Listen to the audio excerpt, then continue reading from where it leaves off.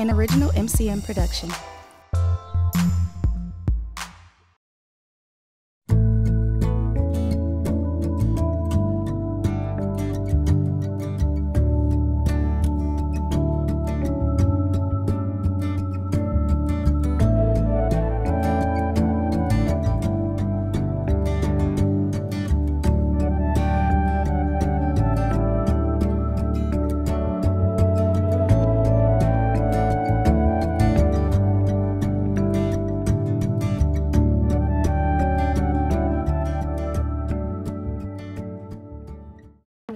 Everybody to our very first um, event from the Confronting Mass Incarceration series that Milwaukee Turners is doing, along with um, Boswell Books and multiple community partners.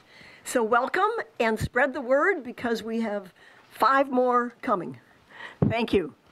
So thank you, uh, Julie and, and Patricia, and to our host here at uh, MATC. Can you hear me in the back? Yeah. Okay, great. Um, and we're delighted to be a part of this uh, first in what we hope is an ongoing series uh, of gatherings here and around the city.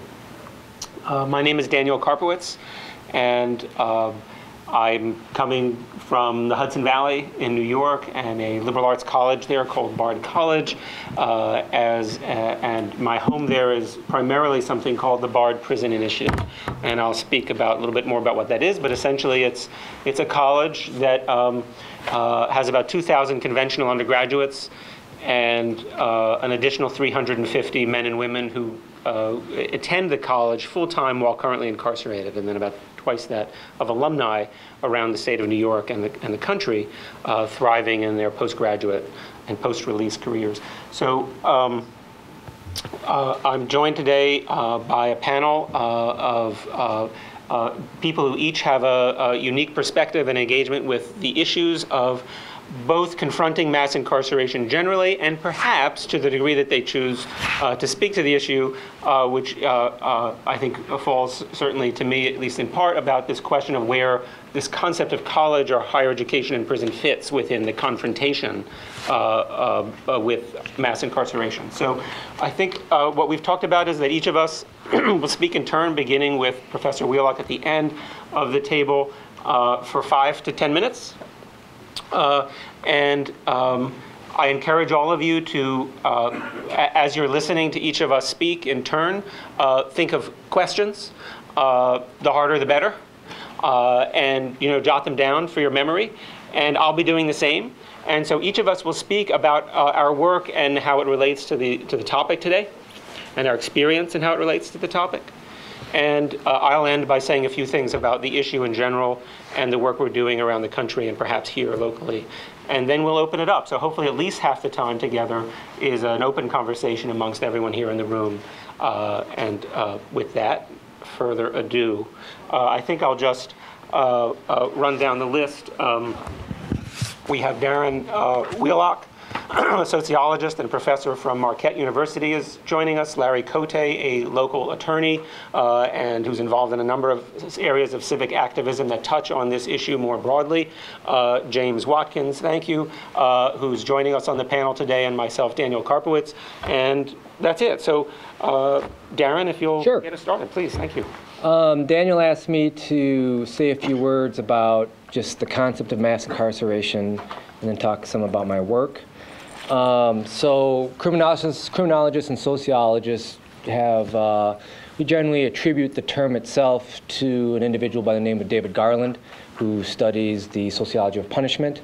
And somewhere around 2000, 2001, he coined the term mass incarceration, which we have used to describe our current state of imprisonment.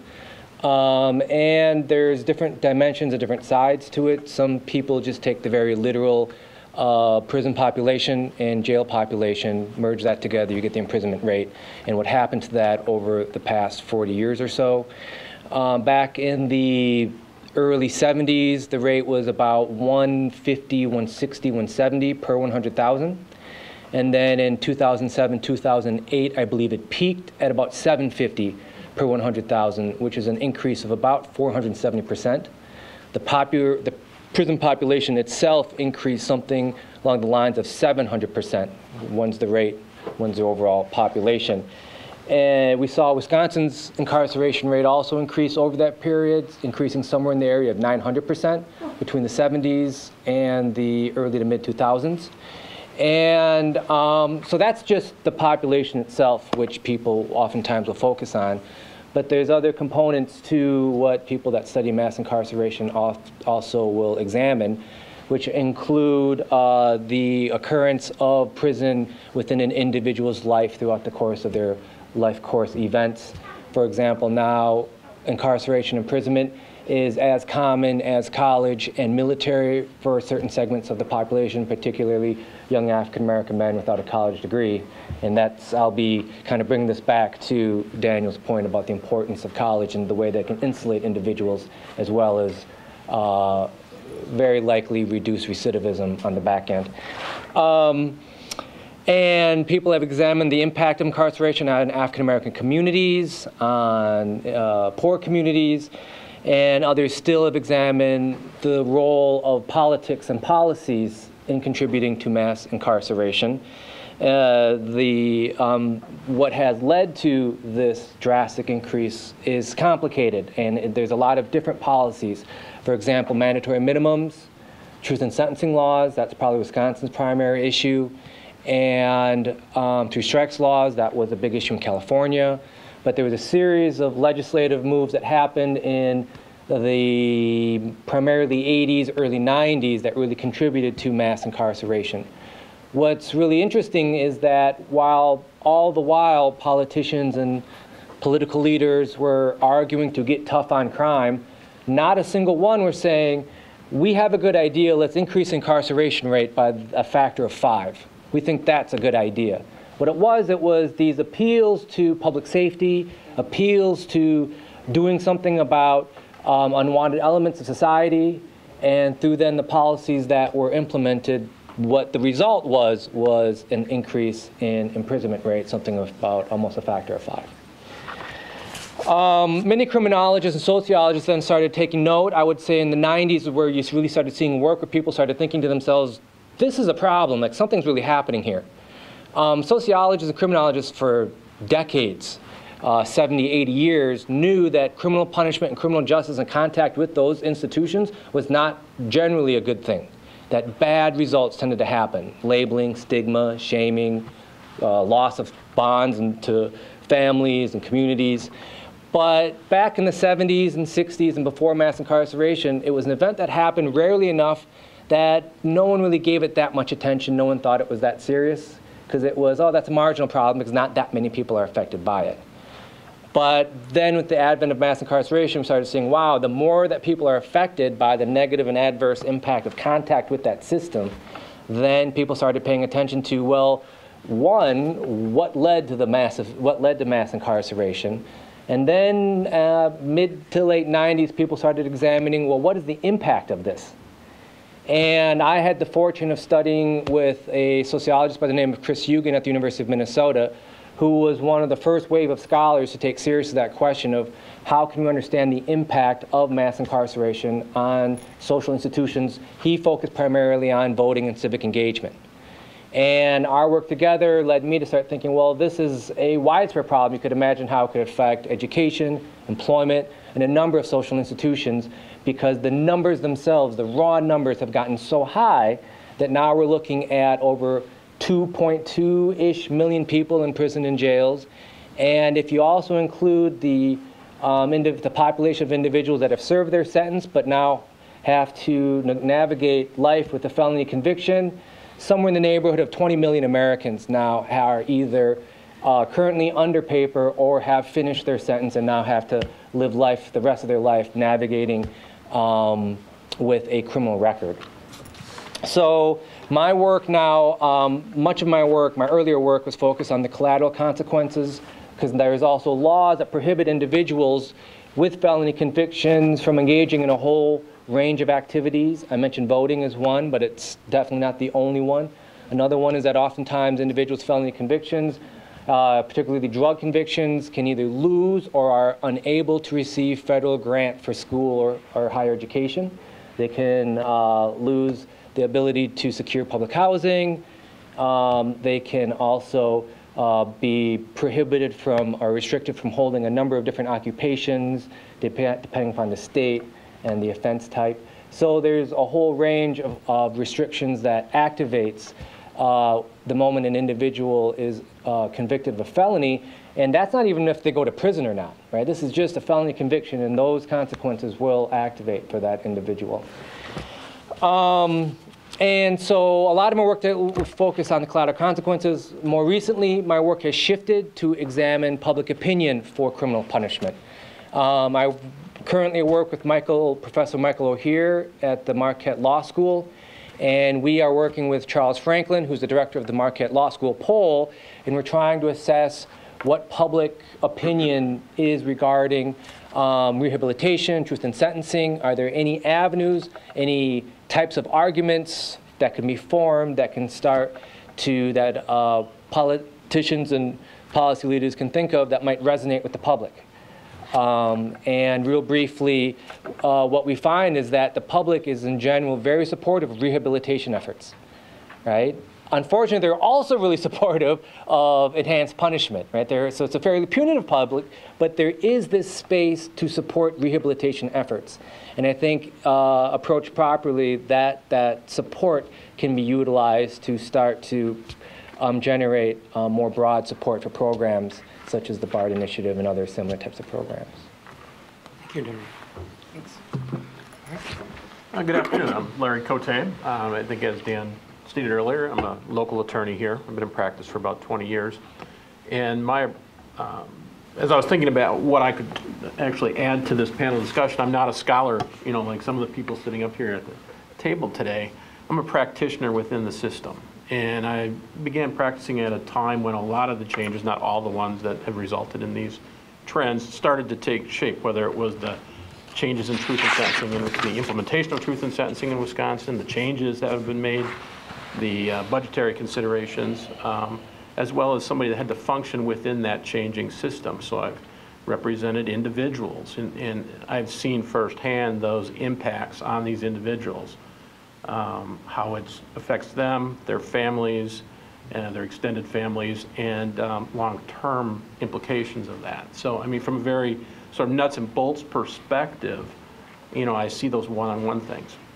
In, in my other role, I, I work with the Felmers Chaney Advocacy Board, and I've been a long-term member of that board. I sit on the executive committee. And in that role, we actually do take a look at these various policy considerations and then pursue change, okay? Um, Pursue change oftentimes from within that system. And whether it's working with something like the BPI project to try and make changes within Wisconsin's correction system, or um, advocating for change in the way that we handle our probation and parole in the state. These, these are issues that uh, Film, FCAB, Felmers Chaney Advocacy Board, works on. And so I guess I was hoping that in my role here tonight as a panelist, that really we could have some dialogue that would be initiated. Uh, We, I think if you look at the experiences at the table, there's a broad base, and this is a complex issue, and there isn't a magic bullet to solve that problem. So, for, again, from my perspective, knowing what individuals that are interested enough to come here tonight and listen to us speak about some of these things, what they want to know, what they're interested in, I feel like that's what I could contribute to and answer some of those, you know, frontline type questions. So, thanks for hearing me out. Thanks, Larry. James? Um, hello, my name is James Watkins. I'm here as a representative of Expo, which is an organization of ex-prisoners organizing to bring attention to to issues um, of mass incarceration and conditions within the, the prisons. Uh, I did 24 years in the prison, and I'm a recipient of education in prison. Uh, while I was there, not only did I educate myself as much as I can and go to college, I read like uh, over a thousand books. I don't know, just stop counting. Mostly nonfiction, because one thing I didn't have in my home was books. One thing my friends didn't have in their home was books. One thing we didn't talk about was books. We had Ebony, Jet. So we sing the beauty of the week every week. I'm sad. right, Jet, Ebony, and occasionally somebody come and sell my mother, grandmama some encyclopedias. Now, it was encyclopedias everywhere, but they was just unread. So when I got to prison, I said, well, I'm gonna do what my friends can't do. I'm gonna read and I'm gonna go to school. Now, you can attack this mass incarceration from plenty areas. You can attack it from the family area. Uh, what does it do when the male in the family is taken away? Or the son, who might have been a protector, and he probably provided some type of income to help support the family, or just his presence. Uh, you can attack it from economics.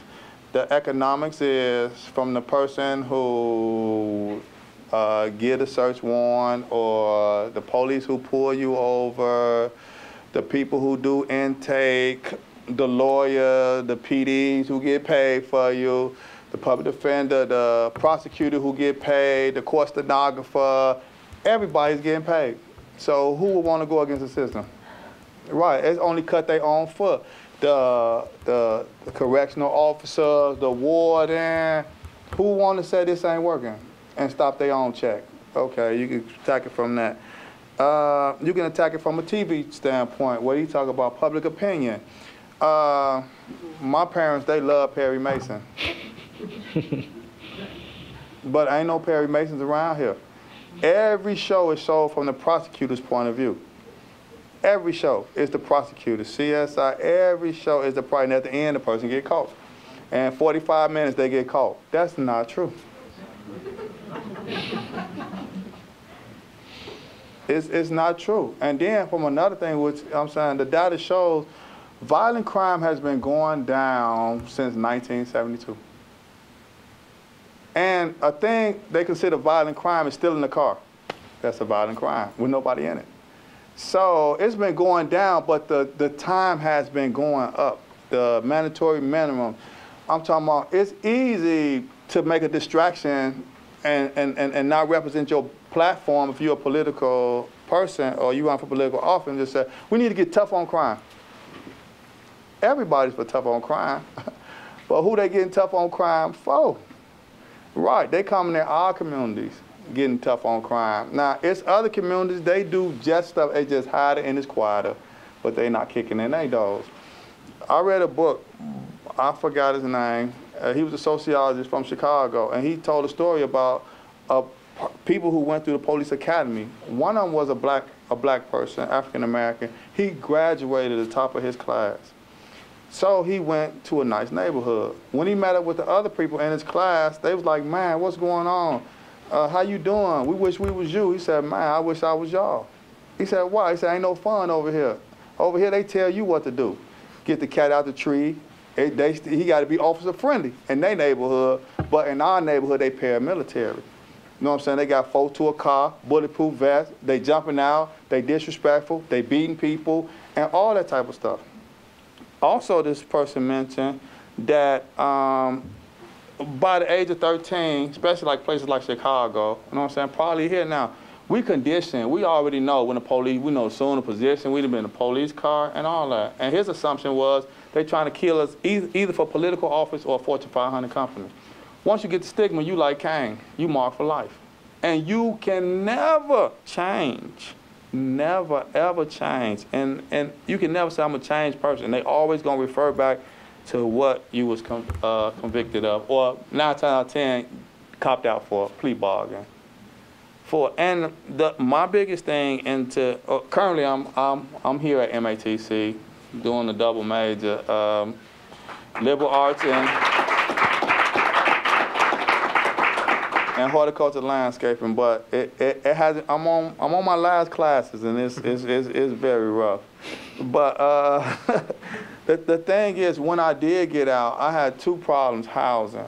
Now you can they can discriminate and it's no problem. Nobody really talks about this. You can go tell them, look, I got the security and I got the rent for two months, but after they run the application, you check that box, even if they took your money. I'm talking about I had a, a, rough time until somebody just said, I know somebody and the landlord and maybe he'll give you a spot. It wasn't in the best neighborhood. Like people with uh, felonies and whatever, they like keep between one neighborhood, between like 25th and 35th and Well, Highland, all all that. Them they, they keep us right there. You try to go out the venture, it, it's very hard unless somebody else sign it for you. Uh, I don't know. I have some more to say, but uh, I'm just waiting for y'all questions. I'm ready. And then like uh, like and um, you got two camps. You got the the real politic. You got the conservative camp who's saying if you educate him, you're only gonna make him a better criminal. He's gonna be more calculated, get away with more stuff. And you got the, the liberal part that said if you educate a man, then you'll give him more tools, and he don't have to do that. I'm more the product of the liberals. You know what I'm saying? Liberals tend con- conservatives who think like that none today. You know what I'm talking about? So I'm gonna pass it off. Thank you. But We're not done here. Um, We're going to reserve most of our time precisely for those questions uh, that people can ask you and that we can engage with as a group. So uh, I'll also keep, Julie, what's, when, when is, when is the final bell ring for us, just so I can help? I Manage the time. Very latest is an hour from now. Okay, great, lots, plenty of time. Okay, so, uh, um, uh, uh, we've heard some references across uh, uh, the group so far about uh, individual experiences with or research about this phenomenon that we've been living through for the past, well, now two generations that has come to be called mass incarceration. I just wanted to allude and put out there on the table some of the uh, uh, other work about the why that's out there. A lot of us will have heard uh, and may engage ourselves in, in, in attempts to answer that, that question why. And I thought I would just, on behalf of the panel, put some of them out there uh, in case we want to return to that. And I think, I think it would be important to acknowledge them. So, uh, and also to remind you now at this point that the next panel that we'll have will be uh, featuring a book by an historian of the United States, uh, whose book Get Tough is an attempt by an historian to understand the why. Uh, it's a study that focuses on the late 1970s and 80s, just as we are entering into this period in earnest. Lots of changes going on in the country in the late 1970s and the 1980s. They're affecting almost every aspect of American life.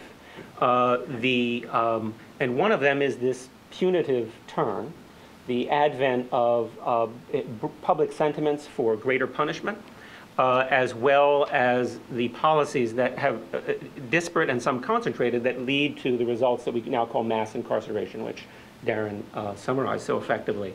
Um, some people who do work on that area are trying to ask that question why, right? Uh, they're looking to different, very different arguments are given, and I just want to say from the outset they need not be mutually exclusive, meaning there can be multiple theories we have here trying to answer the why, and they may sound very different, but life is complicated, and they are not necessarily. Social scientists and scholars will argue as if they're mutually exclusive. They may not be. There may be multiple reasons for how we get into this mess. So some people will suggest uh, that you know what we were living through in a country in the 70s and 80s were profound structural shifts in the economy and the geographical dis- distribution of poverty and who was being who what were the loss of jobs and how were they distributed racially uh, by communities and by geography and how that in turn affected the way the dominant ideologies about the government. What the government could do uh, the way the government could be a solution to the problem problems or the way the government was a source of problems. Uh, and some have argued, uh, I think, in, in very interesting ways, that uh, one of the things that brought us to this was a sense that uh, perhaps the last way the government could enact its power was through punishment, was through punitiveness. And one of the things I was struck by in Darren's, some of Darren's work, and I was reading through some of the polling that's going on at MU, is the deeply partisan divide over punitiveness right? That we all know that, right? That the political divides that we live in the country correlate very strongly with attitudes towards punishment and also towards pessimism about government and pessimism about the state. And that among our most hostile partisans attacking the state, the last remaining power of the state that is endorsed is the power to punish, the power to inflict pain. And that also correlates, in fascinating ways, I think I'll hazard this, with different experiences with the criminal justice system and of victimization. And that's something I'd love to sort of ask Darren uh, about later is, you know, people who are most punitive, if I, this, tell me if this is correct, that, that, that um, high degrees of punitiveness correlate with relatively low levels of actually having experienced victimization. And I think that's fascinating. So uh, uh, maybe we can return to that. So that's one set of questions that focuses on econ- economic change, job loss, attitudes toward the state. Another school of thought looks at this very differently and thinks as of, in, in some ways, certainly rhetorically, as the fourth peculiar institution of the country right? That this is, as most recently is called, right, the new Jim Crow. Many of you must be familiar with that analysis. And in that, it's understood in part as a backlash against the civil rights movement and the civil rights era that preceded it. Okay, that's a very different kind of analysis as to how or why we got here. I think I wanted to just for the group put them out there. We know they're out there. We ought to name them. and I, for one, certainly don't think those two broad views are mutually exclusive. They may be uh, interrelated. So um, with that, I'll just say a few words about uh, the book and, and, and, my work. So uh, maybe more about my work. Um, uh, uh, uh, college, higher education was a structural feature of the landscape of Americans' prisons, at least from the passage of the Higher Education Act, Higher Education Act in the 1960s through the mid 1990s.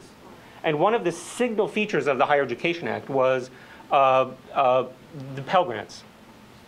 I would assume most, if not all of us, or nearly all of us in this room, when we went to college, went with a Pell Grant in hand, that our households qualified as uh, entitled us to a federal subsidy to go towards tuition.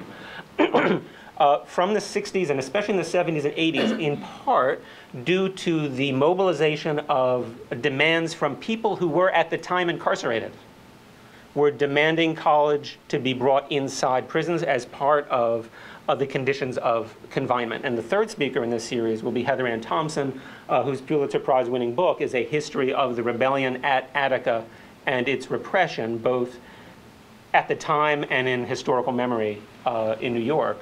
Uh, but one of those demands coming out of Attica was for college and prison, for higher educational opportunity uh, inside that New York system. And that was successful.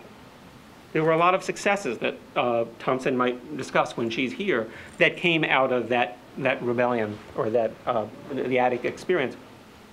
So it was a structural feature. By that I mean, in every prison in New York, there was a college, at least one. Public and often private. So in New York, you had the SUNY system, the state universities of New York, and you had a number of mission-driven Catholic schools or small liberal arts colleges that had college prison programs. They were, uh, the more education you had in a state, generally, the more likely they had colleges and prisons, colleges functioning and flourishing inside their prisons. When Congress debated the, the, the uh, crime bill of 1994, which uh, was a lightning rod of controversy in our last presidential campaign. uh, it was the first major bill put by the Republican House to the Clinton administration to sign. Um, I will go out on a limb and say something nice about the Clintons. That when Bill Clinton signed it, he said, uh, there are some good ideas in this law wrapped in a giant uh, bag of horseshit. And one of the pieces of horseshit was the revocation of Pell eligibility for people in prison, right? So in that punitive turn, one of the things that were done, they didn't cut budgets on policing, they didn't cut budgets on prisons, they didn't even cut budgets on programming in prison at the congressional and state levels, but they did cut college. That was the most offensive thing, was the idea that there would be college inside.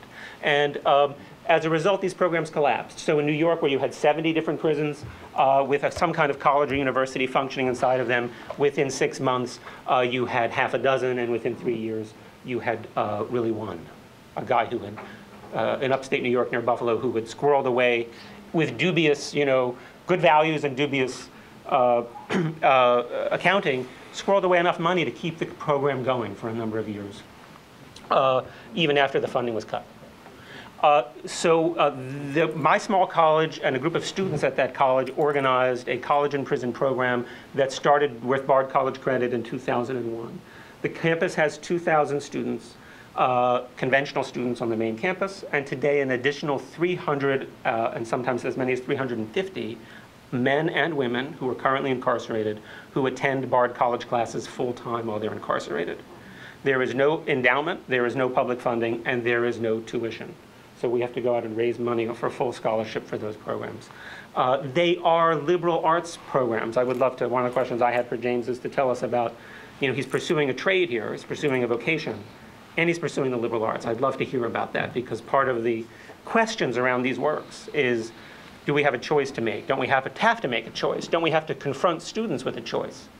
You study liberal arts, uh, sometimes depending on who you are, or who your parents are, or you learn a trade. And that's a choice that we reject out of hand for ourselves, for our college, for our students. And I'd love to hear more about uh, your choices in that regard. So uh, today, uh, right, we have, these are students, they're thriving, they're getting A's, BAs, often going on to graduate schools. The goal is a post-release life that is uh, for people who have been in prison, uh, who've particularly- particularly done significant times in prison, but a post-graduate and post-release career that is commensurate with having gone to a great college. Uh, And uh, while the recidivism is low, extraordinarily low, does anyone know that, everyone know what that term means, right? Getting out of prison and then being sent back. We don't care. There is no self-respecting college or university in the country that cares about the recidivism of its alumni. Okay, so one of the themes for me that's important in doing this work is to protect the college inside the prison from becoming a feature of the prison, from becoming a criminal justice program. It's not, or it shouldn't be. It should be an attempt of America's colleges and universities to fulfill their mission to find great students everywhere because they are everywhere and at different times in their lives and fulfill the mission of American higher education. It is not, it is important for criminal justice policy maybe, but it's desperately important for American educational policy. So um, uh, the last thing I'll say is that we're, we are active now in about a dozen states around the country, helping other colleges and universities do what the state used to do, do what our, the US Treasury and the Department of Education used to do, which is mobilize private money for the public good and build colleges and university opportunities inside uh, uh, for people who are brilliant students and full of, full of talent and ambition and will otherwise not have access to, to great schools. So we do that with Wesleyan University in Connecticut, with Grinnell in Iowa, with Goucher College in Baltimore, uh, with Yale now University in Connecticut as well, with University of Vermont, uh, our first public university, Minnesota State University, our second uh, public state university, um, uh, um, WashU and nearby in St. Louis, and a partnership between Notre Dame and the Holy Cross College at Notre Dame in South Bend. All of those are partnerships uh, with the same vision, uh, a combination of liberal arts and careers for uh, people that um, you know, bring to great students the, the best of what the country sort of has to offer in higher education. So we're active, we, we are active here in the city, uh, and, and um, okay, this is a bit of a pitch, I suppose. Uh, you know, we'd love to do something like that here. And we have encountered, we've been invited here, uh, uh, I think initially by FCAB, uh, and to see if, if something might uh, be possible. And so I'm very happy to be here at this event and to, to be with all of you all. And um, I'm, I'm very impatient to get something started and, and prepared to go, uh, you know, not go anywhere, very stubborn. We need a combination of impatience and stubbornness. So uh, desperate to get started and not going anywhere quickly. It'll take a long time for us to be chased out of town and not do something with all the great colleges and universities you have within this metropolitan area to do something. So that's it. Um, thank you. Uh, so I think we have a, quite a bit of good time for a, a, a public and group conversation. Um, I'm going to do, I think, my last sort of major thing is just to ask the first question, and I'll ask it of James, which I've foreshadowed already. Uh, uh, I'm really particularly interested in, I have to deal a lot with people uh, uh, telling me and my students, our students, uh, that uh, poor people and poor people who are incarcerated don't need the liberal arts, that that's for fancy kids at fancy colleges, that's for the 1%. Uh, or some other percent, whatever percent they imagine. Um, And I'd love to hear, you know, your thoughts about that. First of all, I think in the early, late 18, early 1900s, when they thought about what would be a Western education, they put the great book series together, and which was is the liberal arts, uh, which is which is for liberal arts. Mm-hmm. So colleges started went to for enlightenment. Mm-hmm. After you read this, you get a little this, a little this. You can say you educated with a, a Western education. Mm-hmm. So it started with liberal arts. Later on, the Booker T. Washington came along and said, well, you should teach them how to till the land and all this. Well, him and W.D. Du Bois, they had their little They thing did, about they had a that and, about and that. liberal arts. And, um, you know, the liberal arts is, is right. Teach you to enlighten yourself, and that way you can be a better human being to other human beings as well as the planet and within the animals, the environment, and everything like that. Now, of course, you got to eat as well. Mm-hmm. So I think the argument about the time when I was when I started to take a, a, a trade, which is was horticulture, mm-hmm. was that people are looking for more specialized people. They're not looking for nobody with a bachelor's degree in general education. He can be taught, but it's going to take longer. They want somebody who can get in the field and, and do what they need and, and stuff like that. So the reason why I took the, tell you the truth, the reason why I took the class is because it was the only one offered at the time, and I got it in prison. Oh, you started with that curriculum in- while you were in incarcerated? Yeah, I got a certificate in horticulture. I'm just uh, furthering so I can get a degree in landscaping as well. So I'm talking about, I took the class and, right, I drag. Everybody always said it's the flower power class, you know what I'm saying? So this weightlifting and all this, and I'm taking, they see me around the, the prison planting flowers and doing this, and they said, flower power, look, hey, look, hey, look, don't worry about it, it's okay. It's better than being on unassigned. unassigned is a wing where everybody is unassigned, they don't got jobs, so you hear checkers and cars and what LeBron James did, and it would drive you crazy. Yeah. so uh, when I got out, I, I got out, I had 97 credits. And there, just like what he said, the Pell Grant was gone, and they said, and, and they started charging you $2,000 for a liberal arts degree. So the teacher said, look, why don't you take every class and get all the requirements except one? So that way you can keep on taking more classes and more classes. Now you're getting your faculty in trouble. You don't know which one. take more classes and more classes, and then when you get out, you just take that one class and uh, you got a degree. Well, it didn't work like that. I got here at MATC, I had 97 credits. When they got through vetting me, I had 27. We only accepting 27. So I'm like, oh, 27. So for the, the first year, I did enlightenment. I said, I'm gonna do liberal arts. And then I said, forget that, I can read my own book. Look, I need a trade. so I, I, I chose, I said, I already got a horticulture certificate, why not just get the degree? So I, I chose, and, and that's how that happened.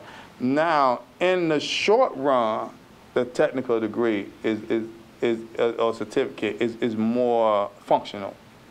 In the long run, the liberal arts is more functional because it allows you to move up the ladder in the trade to management and stuff and stuff like that.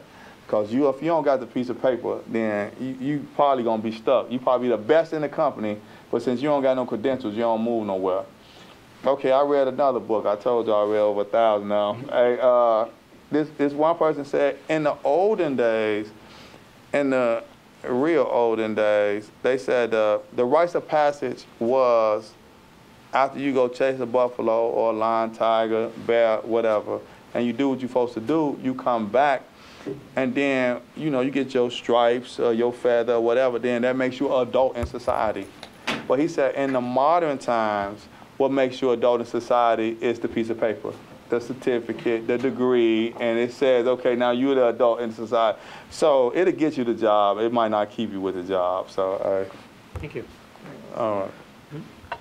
Um, I have a lot of questions, but I'm just going to open it up. Let's start with, with folks in the audience. If there's, if there, it gets, if it gets quiet, I'm warning you. I, ha, I'll, I it gives me an opportunity to ask more questions. So, uh, gentleman in the back, and then the woman.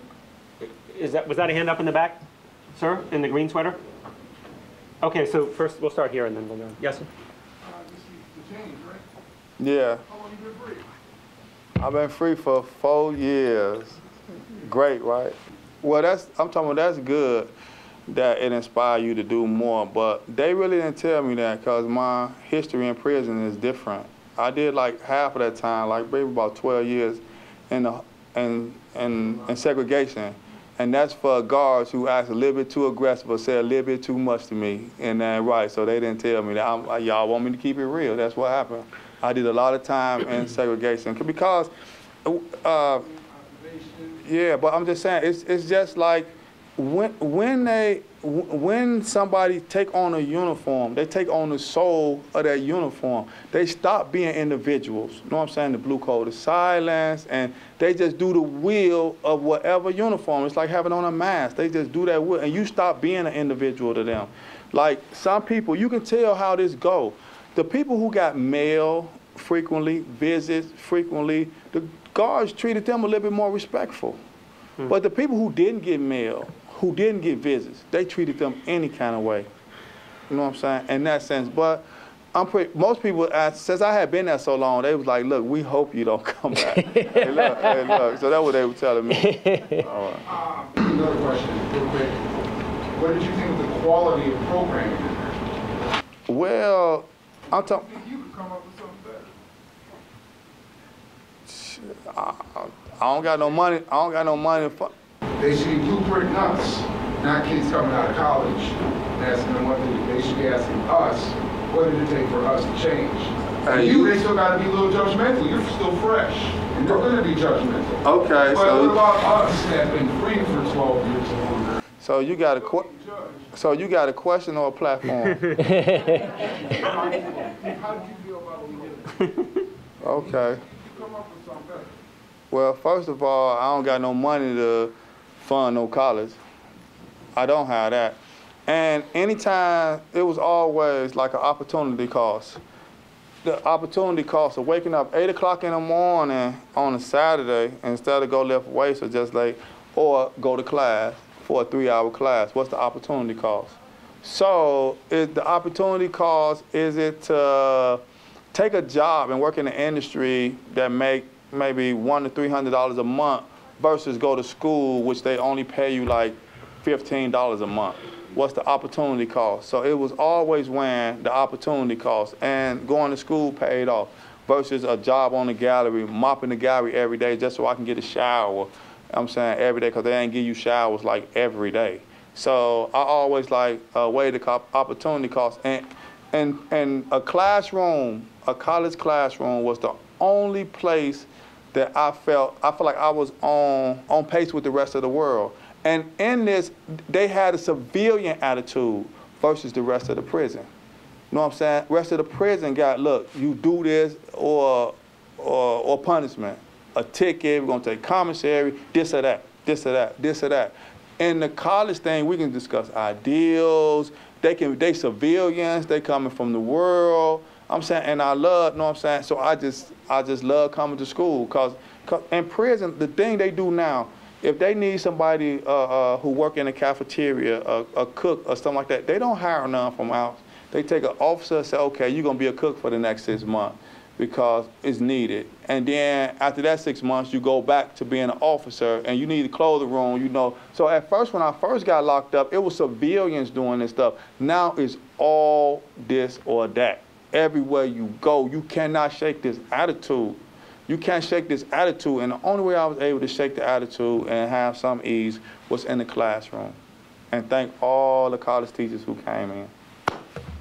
So first off, I'd like to say that MATC is the recipient of a Second Chance Pell Grant, uh-huh. and we're one of 69 colleges across the country that have five years to, you know, start a program in the Wisconsin State Prisons, which we have. And I was hired as an associate dean in liberal arts and sciences to help make that happen.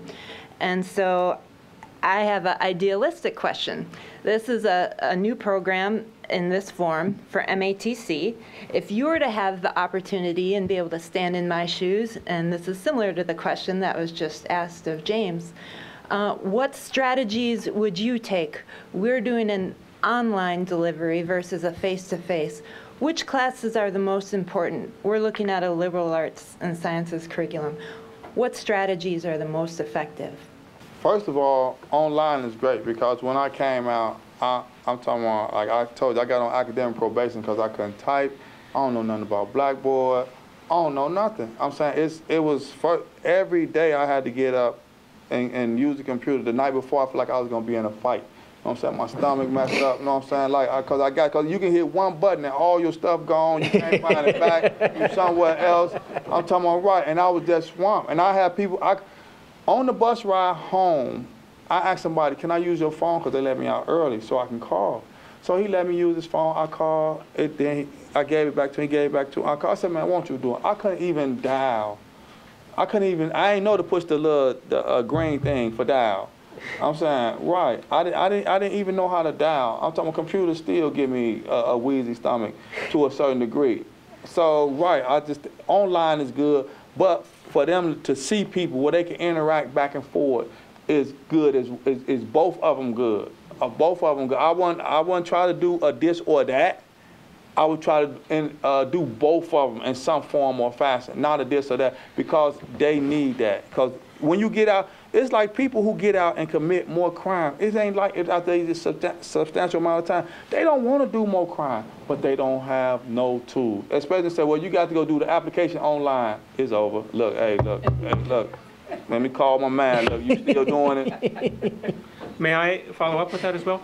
So, uh, congratulations on the being one of 69. Uh, Bard is a fellow Second Chance Pell institution, as are um, six of the other consortium members in the Bard program. So we've helped start programs around the country. Half a dozen of them are Second Chance Pell grantees. We have a very disproportionate number of those grantees.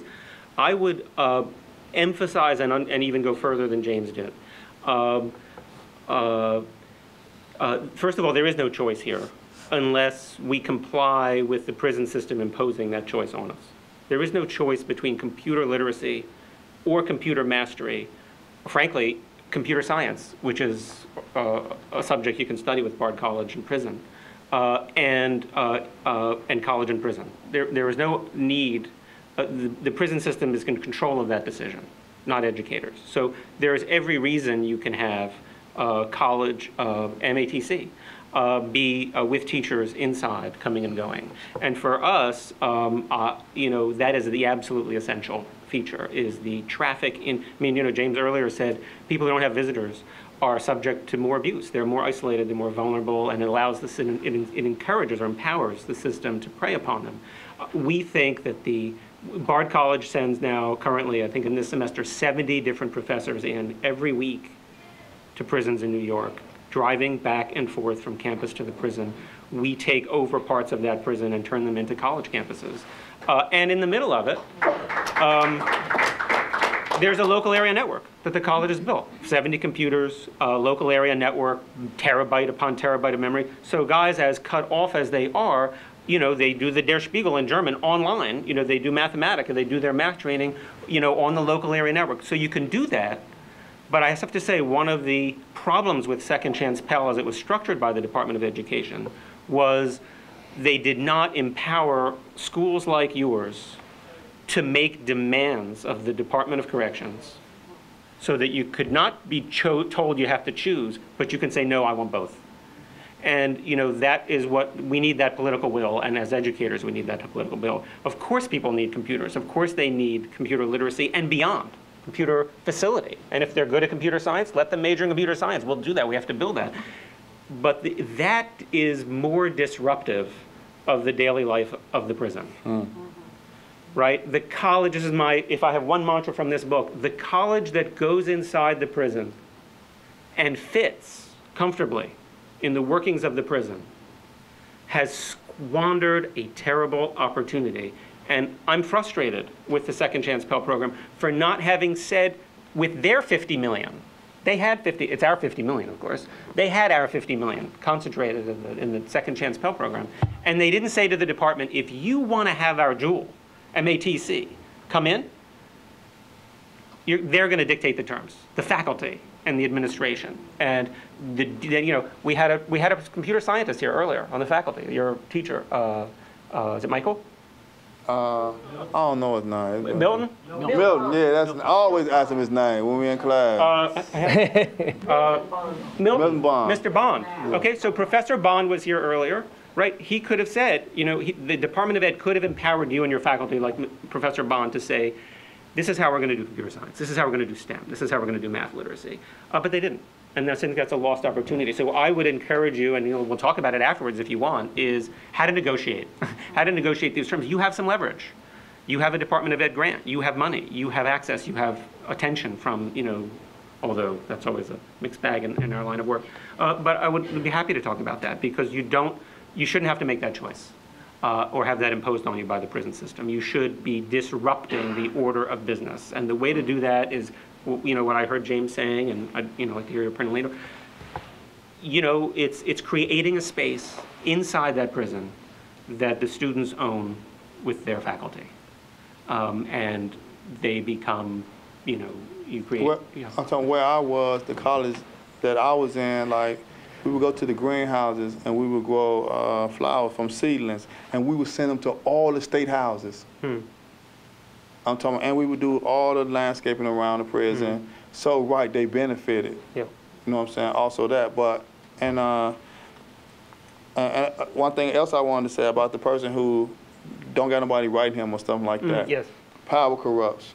Absolute power corrupts absolutely. And right now the prisons under the word security have absolute power for everything. And we need to like right revisit this and they trying to do it for the society as, as well. Security just trump everything. Yep. Civil liberties, everything. And if we keep going for that, hey, we're gonna go for fried ice cream. Well, he the he the moderator. Please. Is that push it? Uh, Can someone, I don't, I think I got mine wrong. Oh, okay. Okay, hi, everybody. I'm Alpha. I'm James' wife. Um, To her question, um, I was wondering, is it a issue, is it an issue with uh, prisoners being able to use computers? Or can you create um, the curriculum where there are like these computers that are like dummy computers where they can communicate just within the prison system and where they're not communicating outside of the prison system so that, that they're getting that experience writing letters or creating PowerPoints and all of those, um, those skills that will prepare them for the real world or for jobs and things like that. But that, that they don't have to do it with someone that's outside of the prison system. Well, uh, before I left prison, they had just took the computer programming class. They had take, just took that, and they took the business management class. So the only thing was left stuff you work with your hands, construction, this and that, this and that. And the- in the computer class, you couldn't actually get on the internet. You can only do the work.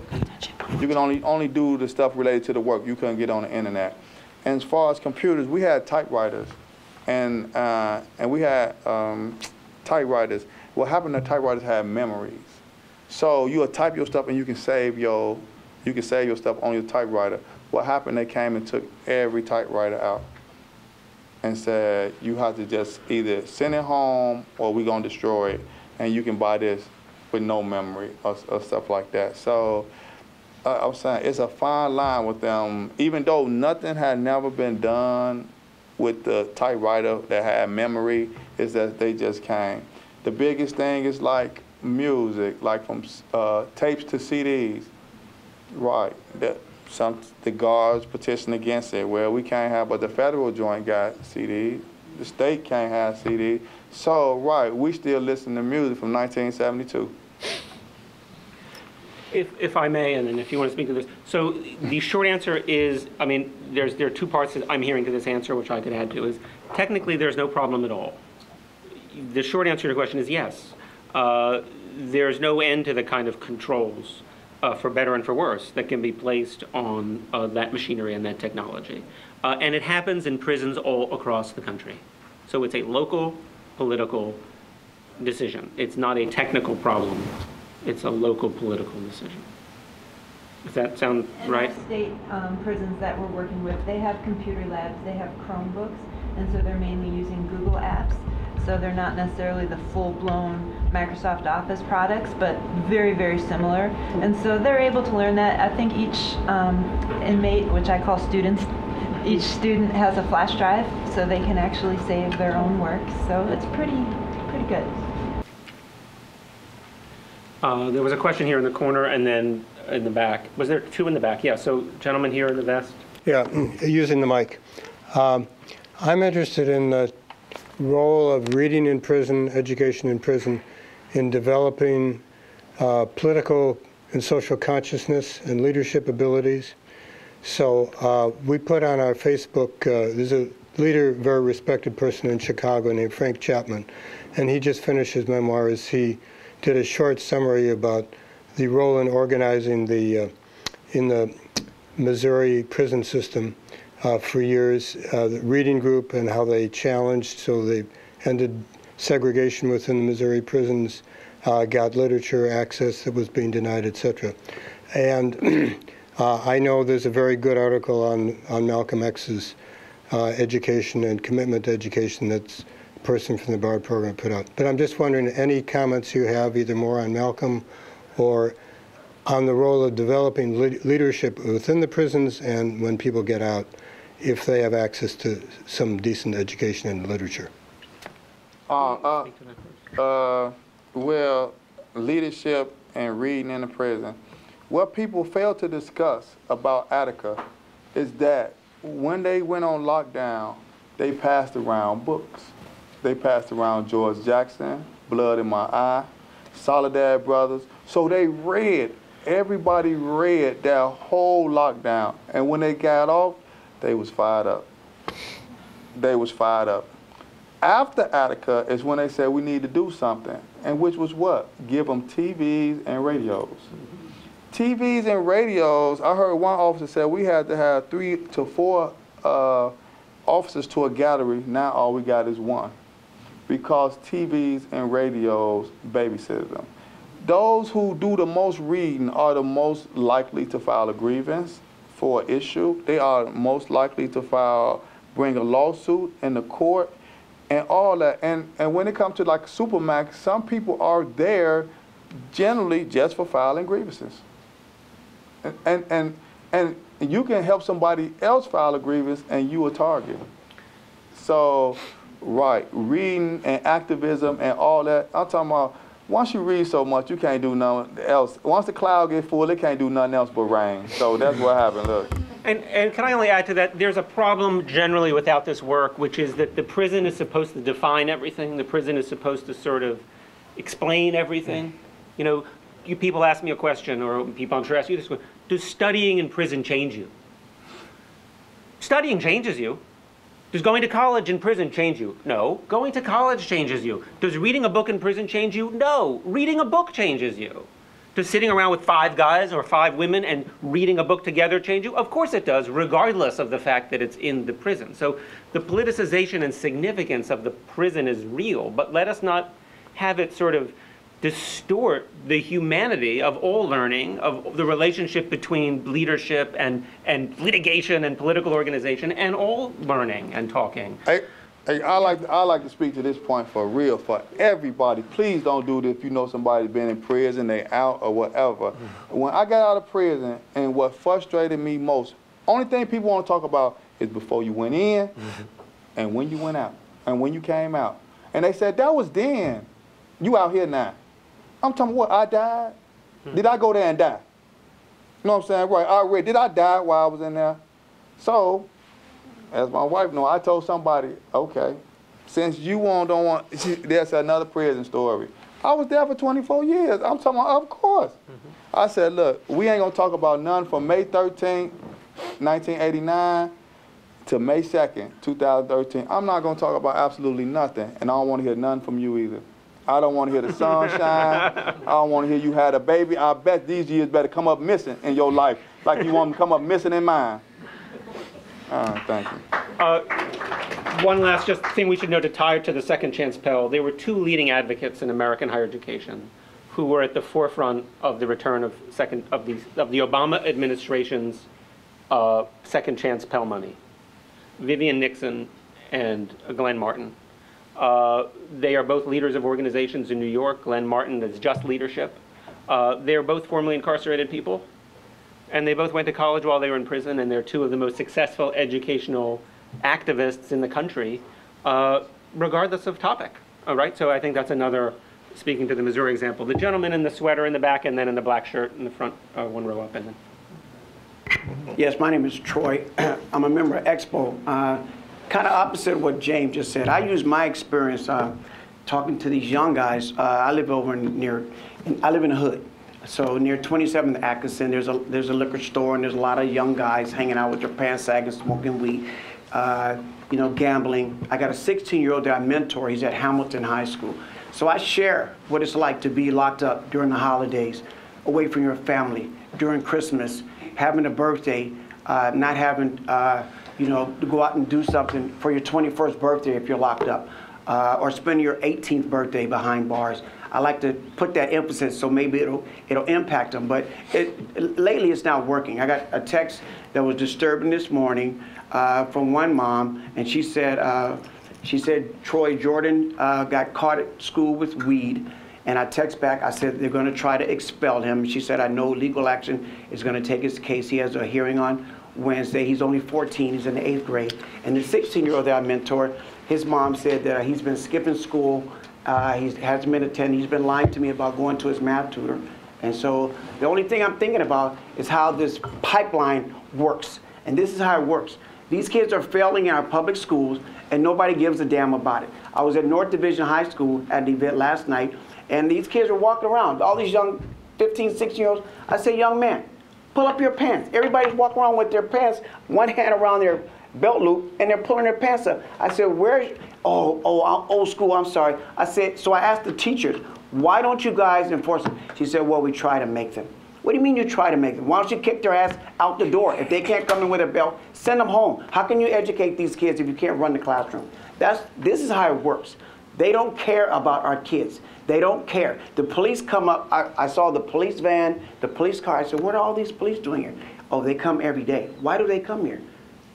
Because they're getting them indoctrinated to this atmosphere of police around them. They start early. They handcuff them at 7. They expel them. They kick them out. The teachers don't care about them. The, and uh, the lady said, well, you know, we have kids in foster care. We got some are homeless. Some have been molested. They're angry. They got all these issues. How can they study? They're, of course, they're going to end up in prison later on with all these issues. So uh, Mark Rice knows. He, he uh, I, I, sit in the EXPO Project Return meetings. And I talk about all the efforts that they're doing for, uh, you know, fighting the system and changing the justice system. Yeah, but what about catching them early so they don't have to end up incarcerated? That's where my emphasis is. Hey, hey, I, I like to say something to that. First of all, I'm talking about uh, they was wearing suits. I'm talking about nice suits in the 50s and the 60s, and they still had, or whatever before, they still had Jim Crow. I'm talking about, so the, the pants and that ain't that. It's just years of stigmatization. No, uh, but, but hold on, hold on, hold on, hold on, hold on, hold on. Hold. Your pants are hanging down below, below your knees. You're not going to get hired. The only thing you can do is sell weed. That's all you can do is sell crack and sell weed. If you can't pull up your pants, nobody's going to give you a chance. They say they told me in prison. I took a convict criminology class at Oxford University, and they had a, a outgoing pre-education class, uh, re-entry. They said that the employer looks at you, and the first seven seconds, they're they're deciding whether or not they're even going to give you a chance. So you walk in there with a dress shirt, a smile, a handshake, a firm handshake, and if you're looking at your pants behind your knee, how can you even have an opportunity? That's what I'm talking about. Okay, uh, I'm talking about, I study a little criminology too. I know about the corner boy, what you talking about, man's rape, hey the, hey, hey, the whole thing. Like I said, once again, when we was wearing suits in the 20s, 30s, or 40s, we still went in and get a job. So now what? So, and then uh, about uh, the teachers. The teachers don't have much power. The only power they got is to call the parent. Now, if the parent ain't involved, that ain't our fault. I'm saying that ain't the teacher's fault. And I only think the principals got too much power now. They got to call central office right now to suspend one kid, and that's why. Because the thing between charter school and public school, they trying to keep some people in the seats. They trying to keep some people in the seats. So they trying to first, and that's the one. The other other thing, a zero tolerance. Which was uh, at first we sending everybody, suspending everybody. That didn't work. Now to the other pendulum. Look, we ain't trying to suspend nobody. We want to keep the uh, kids in the seat. We trying. We want to keep the seat so we can get economics. The funding from the public versus going to the charter school. You know what I'm saying? Once again, and then right, that little man uh, or little Derek father is not there. Why? Because he in the prison, and nobody is like really caring about the whole community. They look in this in uh, compartments, compartments. You know what I'm saying? But if man, it's compartments, and I, I look, I think it's the same thing like the drug epidemic, heroin. Only until it reached the suburbs, now it's an epidemic. Crack been killing us for the longest. Uh, but it's never been, we need to change the laws. They need to get help. It's been punishment, punishment, punishment. Now vote for me. Thank you. Hey, look. Uh, If I can just add to that, um, I, I hear what you're saying about this idea of self-presentation and soft skills, those things are important. But I couldn't agree with James more that there is a context here. The context of Milwaukee is that Milwaukee is the most racially segregated city in the United States. If the kids that you've encountered were to pull up your pant, their pants, I don't think that would change. 53206 is the most incarcerating zip code in this state, which has the highest rate of black incarceration in a country which has the highest black, which has the highest incarceration rates in the world. I don't think people pulling up their pants is going to change that fact. And so while I hear what you're saying, I think what, and I, this is where I would agree with James, is that there's structural factors that aren't, that's not linked to a self-presentation. There are structural factors that deal with racial animosity, racial prejudice, racial discrimination in America. And to really address those issues, I think that requires um, shifting the focus away from uh, the street corner youth that you're really talking about and focusing instead the attention on the way that um, our institutions are ran, who holds positions of power, and the ways in which our institutions just aren't working the way that perhaps they should.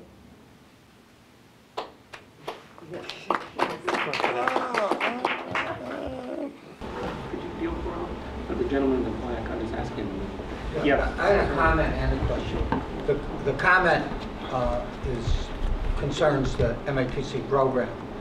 Um, I've taught both online for many years. Mike, are you using the mic? Push your button. I've taught uh, both online and in person for many years.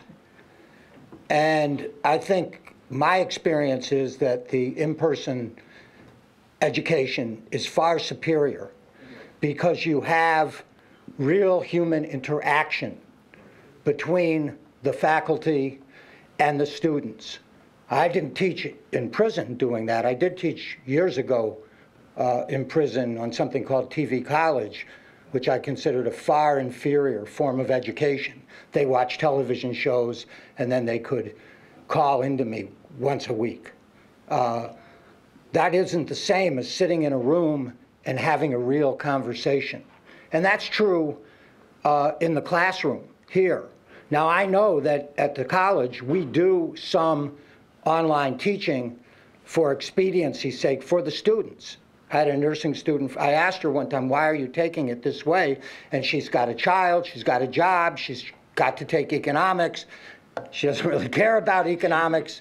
And so I understand that we offer it for that reason, convenience.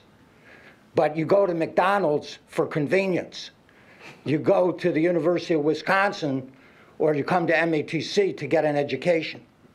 So that's my comment. I think that it seems to me that uh, from listening to this discussion, uh, if it's at all possible for this college to send faculty into the prisons, they should go there on the, that's the turf of the, of the prisoners, and conduct the classes there where you can have real interaction and not one other factor and uh, I think a lot of people in here know I'm running this emergency economic fund.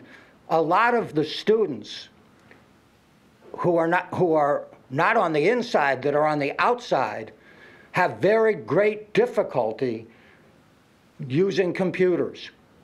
There's a myth at this college that everybody knows how, everybody is in the digital era because they have smartphones.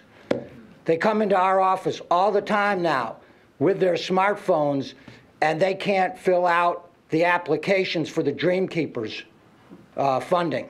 So to think that people on the inside have these great computer skills that will allow to have a really dynamic class, I think is, we're- we'd be deceiving ourselves. If- So that's, that's my pitch.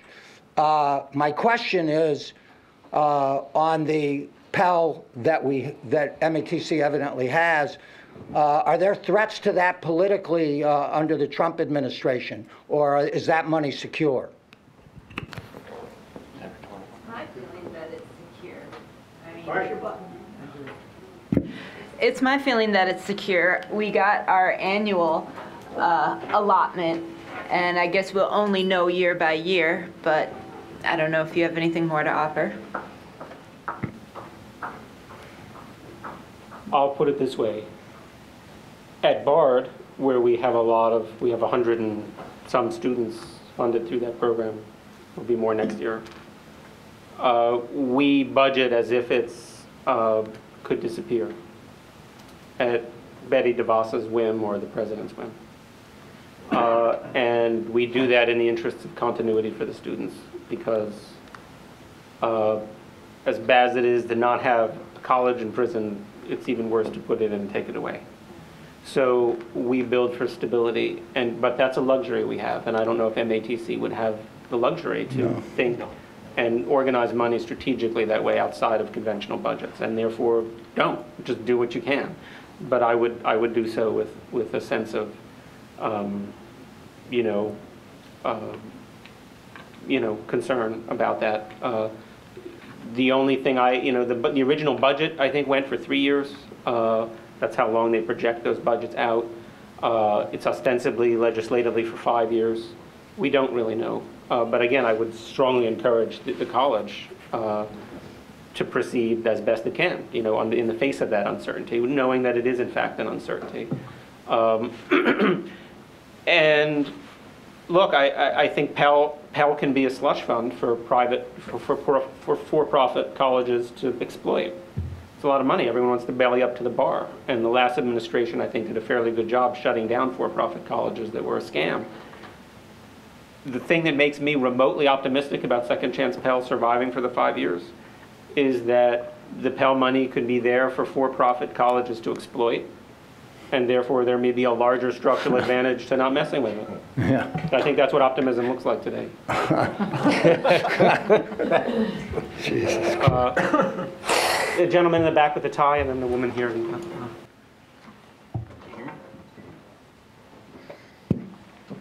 All right. So, um, as an advocate for higher education, um, I'm definitely proud that we have the second chance Pell going into um, the prison systems and we taking that initiative to help bring solutions in that area. As a student therapist, I have some concerns as far as mental health care for inmates and uh, the fact that a good percentage of inmates go undiagnosed. And the unfortunate thing, especially in Wisconsin, um, Milwaukee, and, and throughout the country as well, is that the criminal justice system seems to be the first line of defense for most individuals who struggle with mental, uh, mental health concerns. Um, Dontre Hamilton, if you uh, guys can remember, was an individual who dealt with schizophrenia. And if you know anything about the laws, you won't really receive any type of treatment until you become a threat to yourself or a threat to someone else. And so that's how you end up with police officers showing up on the scene um, ready to engage without real accurate training, without empathy, um, and really knowing what to do with someone who really even isn't a, a true threat. Um, I believe that media and some other avenues have really painted a poor picture of those who deal with mental health uh, concerns that uh, most mental health uh, patients or those who deal with that are somehow chronically violent. um, when that couldn't be further from the truth. Usually it's about roughly between 3 and 5% of uh, individuals who deal with mental health concerns are actually of some danger to themselves or someone else around them. And so um, when we look at, um, you know, lawyer representation, when we look at judges who are, uh, you know, assigning or, or, you know giving years to uh, individuals who really need more support, and even when um, uh, James, right? Yeah. James, when you talk about um, being isolated within the prison system, I can't help but feel like there is a certain level of depression that may be linked to that, or certain levels of anxiety that may be linked with that when it comes to being disconnected um, and even to Mike's point, in sending an actual instructor into the room, we're talking about re-engaging with more human connection, which helps us feel more normal, um, which I could see through things like work release and getting out into the society as you're talking about reentry to bring back that level of homeostasis or normal um, that you had before going in. And so I wonder what kind of health care is being administered to the inmates while they're in there to help re-stabilize and rehabilitate in that respect, um, in conjunction, supplemental to the education that we're doing. I, I'd like to say something about that. Uh, I was told when I first got locked up, like even before my conviction, that after five years, a depression usually sit in for everybody in prison. You know what I'm saying? So it's like always a great cloud, a great cloud over the prisons. I'm saying you watch it when people go get on the phone and nobody answer the phone call, but they come back and you act like you didn't even see it. You know what I'm saying? When mail call came again and they didn't get mail again, you know, because when, when mail used to come at the same time every day. And 30 minutes before mail is quiet, and 30 minutes after mail is quiet. 30 minutes before, you anticipating if I'm gonna get some mail before. 30 minutes after, either you reading your mail or recuperating from not getting none again. You know what I'm saying? And then the conversations start. Uh, in jail, you talking about the isolation. In jail, a lot of, uh, of us go through an identity crisis because when you come there, they take everything and then give you their stuff. Uh, so, you know, people used to define themselves by their clothes, by their family, by their friends, where they from. But when you get there, it's absolutely right. All that may be gone. I'm saying you might got one or two friends left, your mama, your sister, brother, every now and then. So now you guys got to say, like, who am I? You know what I'm saying? Who am I? First of all, you had the stuff to define you to say, so-called define you who you were. Now you got to get to the bare bones. You know what I'm saying? Who am I? And, you know, that's the identity crisis. That's the self-worth. You know what I'm saying? You're trying to uh, figure out self-worth, identity, and a whole lot of stuff be going on at that time until, you know, you, you kind of like get a grip, but you never really get a grip of it. Uh, and then the, the next thing is, you know, and, you know, I, I'm not a police guy at all, but, you know what I'm saying? Look, uh, but but I had to say this. The police gave him too many hats to wear.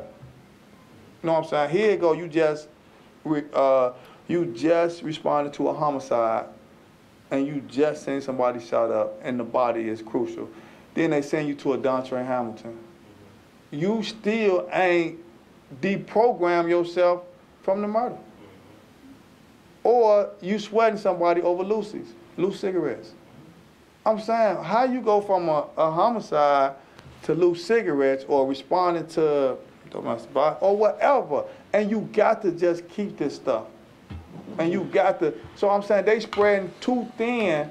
I feel like the police spreading too thin with all these laws they just create. Say, go do this, go do that. They should have like special, and then another thing about that, the people who police our neighborhood, not from our neighborhood. No, and they will fight against that truth and nail. They from Wauwatosa, West Allis all the way out there. Nice homes, no problem, and they don't even know us. So right, it's this this the other. You know what I'm saying? It's this fear of the other. Malcolm X said the character assassination come before the bullet. And the media had character character assassination us ever since I remember. Uh, somebody used to call me Jamaican when I was there. We gonna have a fight when I was young. Call me Jamaican again. You know what I'm saying? So right, this this this the other, this they nothing. It's the sagging pants. I'm still a human being. You forgot? I'm just like you. And the same thing go through jail. They, I'm talking about everybody cell look the same, everybody wearing the same. They think if everything uniform, then you will conform. Physically, no problem. But mentally and soul and my spirit, I, I can't do it. Uh,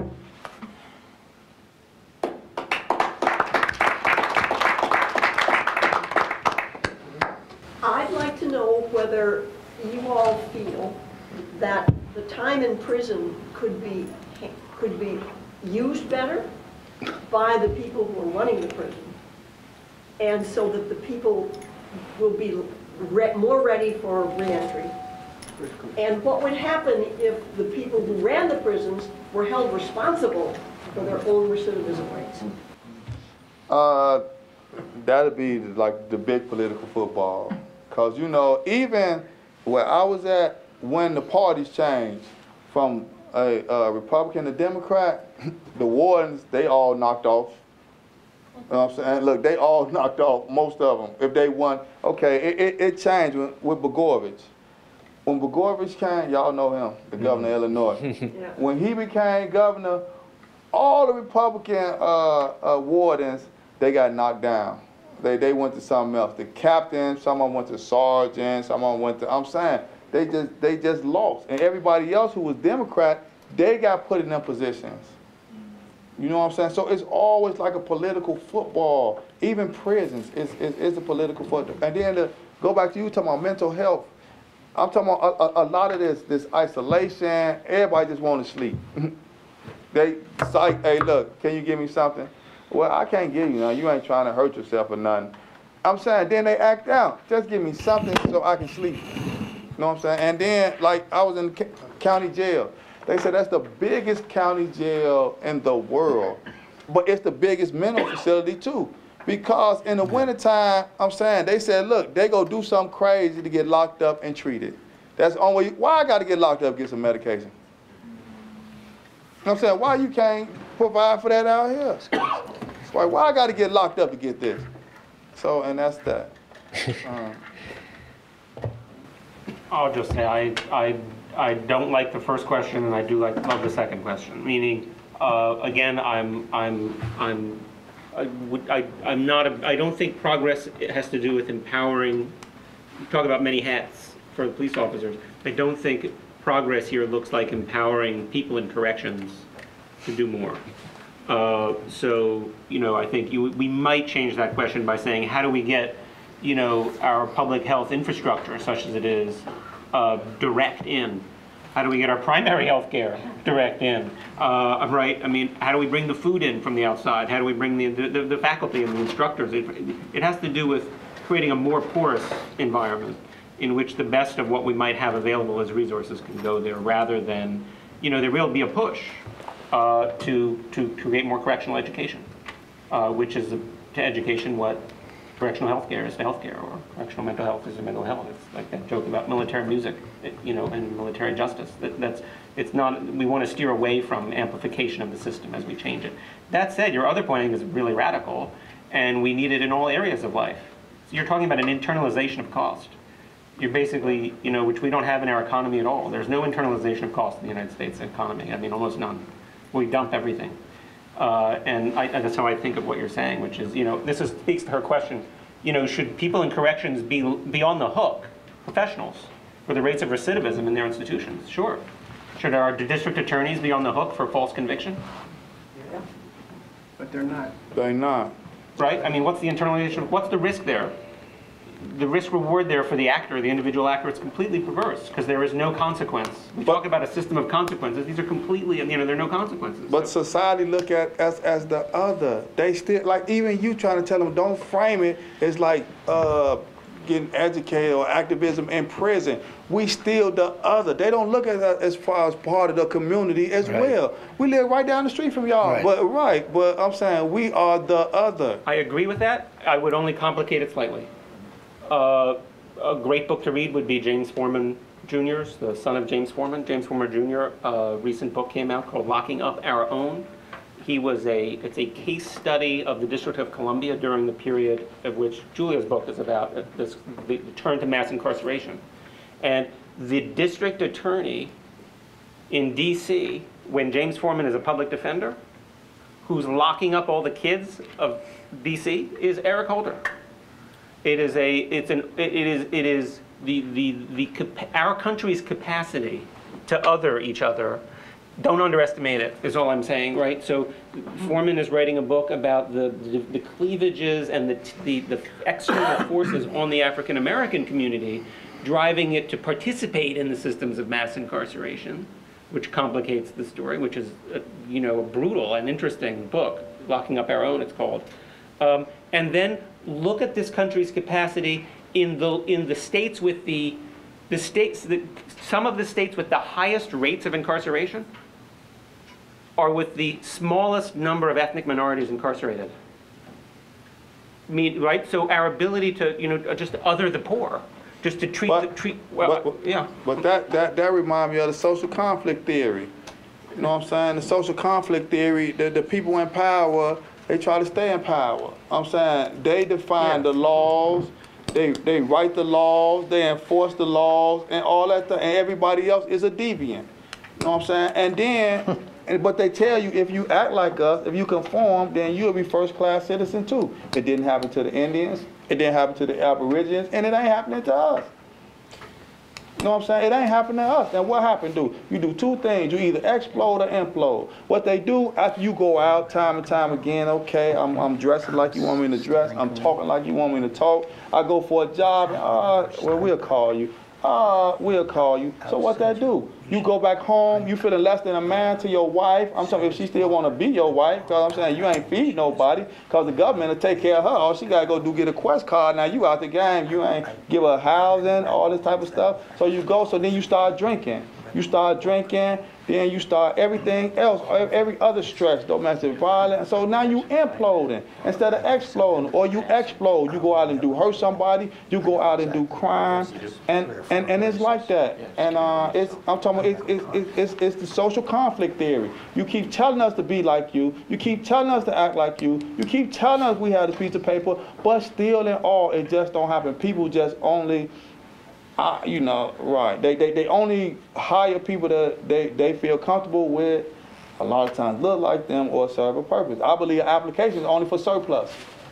You know what I'm saying? Well, we got we just need somebody. Everything else by referral. You know what I'm saying? Every, everything else by referral. And one thing, one thing I would like everybody to, to, to think.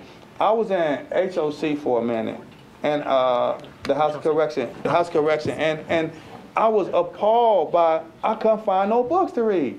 Like where are the books? They said, man, we can't get no books. Uh, people can't send us no books, magazines, or nothing. Only you got you got the right to write the publisher. Who writes a publisher for a book? So here I am. I said I never been in a prison without books. Nobody got books. Where's the books? And they acting crazy in there. They don't got. I'm saying right. Who, I'm talking about who kills this First Amendment right? For your family to send you books. It's a story I know. Another story. I read a book. Hey, look. It was a guy. He was in, in prison. It was doing a takeover or something. So they said he didn't complain about the beating. He didn't complain about the food. He didn't complain. But when they took his pen and paper and his books, he said, "Now you lock me up. Now you put me in prison." And that's how I felt in HOC. Really, really in prison. All right. you. I'm going to suggest we, maybe one more question Yeah, I would love to hear something from, from Larry? also from, from Mr. Coté. Sure. No, I was just going to comment uh, about the part of your question regarding programming. And it sort of ties into the discussion that- that we've been having here about, you know, the institutional power and how it impacts outcomes, okay? And one of the distortions that often occurs with programming is that it's used against individuals. Yes. I, I mentioned earlier that um, one of the things that FCAB was working on is reform on rev- uh, revocations here in Wisconsin. Uh, For those that don't know, it's an administrative process that happens here. The individual that's being revoked, meaning their privileges of release are being taken away. Um, uh, They don't have a, they have a right to an attorney, but they don't get a full court hearing on this. They're held in the county lockup or wherever that individual happens to be held. And the state is represented, and then the individual can have a private attorney, or more typically, a state public defender appointed attorney. And what, and I've done cases like that. And one of the things that you will hear as a justification to the administrative law judge is, we need to revoke this person because guess what? We got programming to deal with whatever his problem or her problem is. So there's this unintended consequence of saying that the programming exists, it becomes the most secure and best place to carry out this programming, whether it's, you know, AODA counseling or domestic violence or anger management or whatever. And they'll use that as a justification in their argument to the administrative law judge, successfully oftentimes, that that's why this individual needs to again lose their freedom, okay? And so the challenge, obviously, on the other side is to come up with ways in which you can put, cobble together a better program. And at one time, DOC used to sort of play this hide the ball game where they wouldn't tell you what they thought was an appropriate outside, better program for your individual so that you could get an alternative to revocation. You would have to sort of um, guess at what that is, present it at hearing, and hope that that's where they were going with this. So there's really some unintended consequences. That's just a, a small example of how the power in the institution distorts what should be a benefit to the individual that's being held. So I, I just wanted to comment. That's a great point. So, yeah, No, I, I actually was just, I wanted to make sure we got to Right. his question over there. I, I, I, I, I'm, I, I completely agree that people should get degrees in college, and Wi- Wisconsin make it super hard. You know, I was there for nine years and couldn't take one class, but I feel like y'all are y'all are missing a, a big step because most of these guys don't even got high school diplomas. You know, 1,200 people in Green Bay, and they did what? 10, 10, 10 HSEDs last year. You know what I'm saying? So y'all, y'all, y'all got all this Pell Grant money to give these guys college educations, but there's 10 people that can partake. And of those 10 people, how many are Green Bay gonna let? You know, so it, it, it, I feel like like a, a crucial step is being missed by jumping into secondary education so so fast. You, you know, when when like he was saying, most of these dudes getting snatched out of school. I, I went to prison at 14, came home at 23. You know what I mean? They, they're getting snatched out of high school. I got my HSED in prison. You know what I'm saying? So like, and I'm one of the 10. You know what I'm saying? So like, what like. I- I feel like that's something that that that re- really has to be addressed on a, on a large scale. I'll just very quickly agree with you uh, up to the point that uh, I am in certainly no way advocating college and prison as a solution to mass incarceration, as a solution to the grievous inequalities of access to higher educational opportunity around the country, uh, or as a way to smash this system that's sucking up so many of our children. Um, so uh, I would agree with you on all those points. It isn't any of those things. Uh, it is something that our colleges and universities need to do. That doesn't mean the state of Wisconsin doesn't need to cut. it- What is the, your goal currently? Cutting the cutting the rate of incarceration. New York State has cut its prison population by 30 percent. Uh, you should go for 50 percent, and that involves keeping kids in school. And that involves, uh, you know, in Vermont, where I was with state senators last week, the, they had a bill to just to, to end to end expulsions from schools, to keep children at school, and the pushback came from the teachers union. Wanted the power to expel the children. So we have deep problems here, and you're addressing, you're speaking to them, and I, I, I, I am an advocate for this work because it's one of it's where I happen to be. I'm in a, I'm in a college. We ought to do this, but you're quite right. Um, it's broader and much deeper. All right, first of all, what he said, teachers want the power to expand. They the first responders.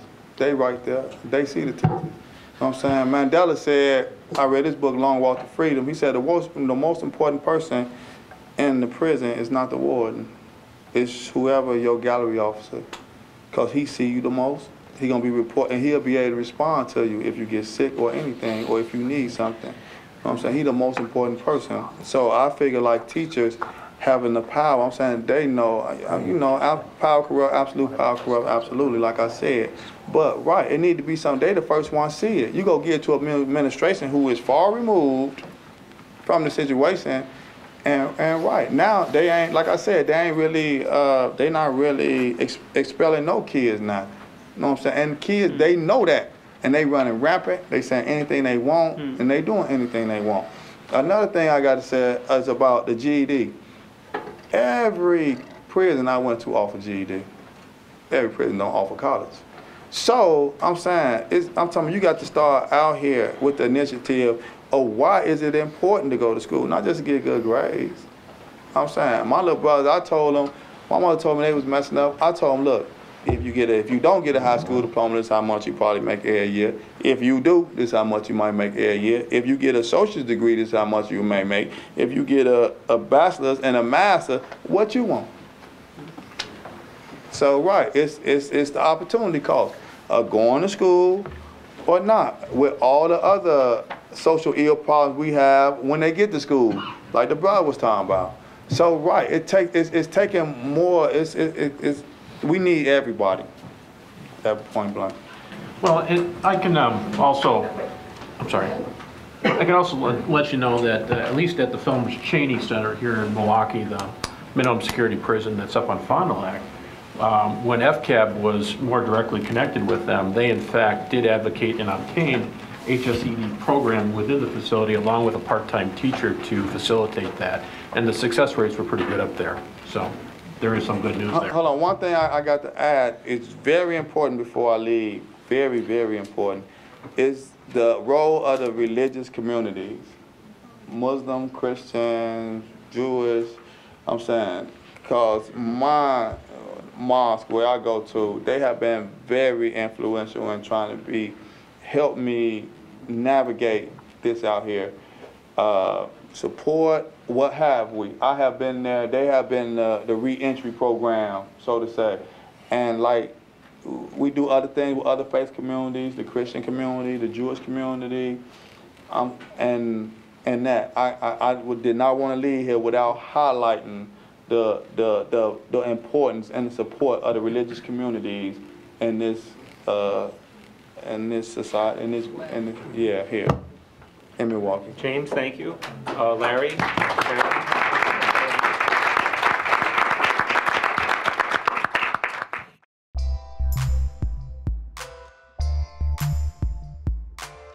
An MCM production.